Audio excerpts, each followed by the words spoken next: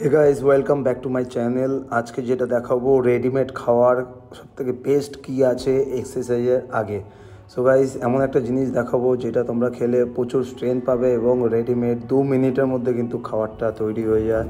কিন্তু ওটার জন্য তোমাদের কিছু করতে হবে না জাস্ট একটা বিগ বাস্কেট থেকে তোমাদের একটা প্রোডাক্ট তোমাদেরকে অর্ডার করতে হবে। সেটা হচ্ছে চিকেন সসেস এটা হরিণ গাটার চিকেন সসেস পাঁচশো গ্রাম, মাত্র একশো পঁয়তাল্লিশ টাকা পাঁচশো গ্রাম তোমাদেরকে আশা করি দুদিনে তোমাদের চলে যাবে। দেখো, আমি কিন্তু এটা জিমের মধ্যেই রেডিমেড খাওয়ার একদম মানে জাস্ট আমি এটা হালকা গরম করে জিনিসটা আমি খেয়ে নেব। এর থেকে বেস্ট খাবার আর কিছু নেই। প্রোটিন যাচ্ছে বডিতে এবং একটা কথা ওয়ার্কআউটের আগে কিন্তু প্রোটিন অনেকটাই জরুরি, যতটা এক্সারসাইজের পরে জরুরি। এটা যাতে মাথায় থাকে। অনেকে হয়তো খালি কাপস খেয়ে এক্সারসাইজে নেমে যাও বাট কাপস খেলে হবে না। তার সাথে কিন্তু প্রোটিন অবশ্যই দরকার।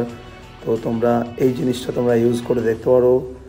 তোমরা কিন্তু ভালো স্ট্রেংথ পাবে। একদিন খেয়ে তোমরা বলবে আমাকে মানে কতটা ভালো রেডিমেড খাওয়ার যেমন আমি দেখো চারটে চিকেন সসেস নিয়েছি, আমার কিন্তু মোটামুটি পেটটা ভরে গেছে।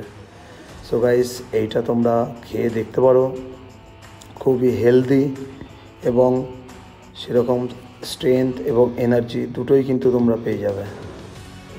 রেডিমেড খাবার, এর থেকে ভালো জিনিস আর কিছু নেই। দু মিনিট লাগবে জাস্ট গরম করে একটু সেদ্ধ করে নিতে, দু মিনিট লাগবে। এটা জাস্ট খেয়েই কিন্তু আমি ওয়ার্কআউটে নেমে যাব। দেখতেই পাচ্ছ। তো খেতেও মোটামুটি ভালোই। হয়তো এই ভিডিওটা অনেকেই দেখেছ ফেসবুকে ইনস্টাগ্রামে একশো কুড়ি কিলো দিয়ে কিন্তু আমি স্কোয়াট মেরেছি।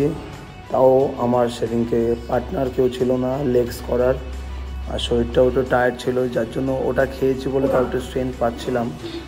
দেখো আমি কিন্তু একশো কুড়ি কিলো দিয়ে চারটে পাঁচটা রেপস করে দিয়েছি অলরেডি আর কতটা ডিপ স্কোয়াট করছি তোমরা দেখতেই পাচ্ছ।